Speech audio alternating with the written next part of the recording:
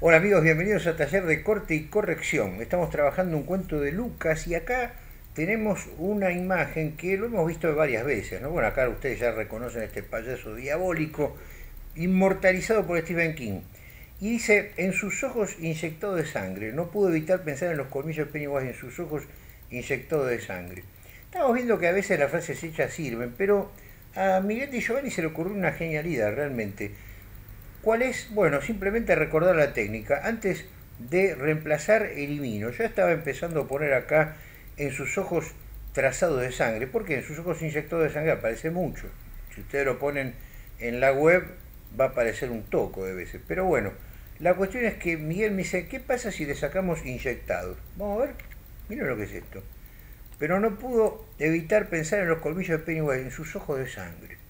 Es hasta una metáfora realmente siniestra. ¿A usted qué le parece? ¿Le gusta? Sí. Sí, fue fuerte. Sí. Bueno, vieron que no estaba solo. Chao amigos, pulgar arriba para Marcelo y Marco. Sigan con Tuti cortando ¿eh? lo nuestro. Ya saben qué es esta carajada. Acá lo tenemos. ¿eh? Un buen corte a tiempo hace que la poesía surja de nuestros textos. Hasta pronto.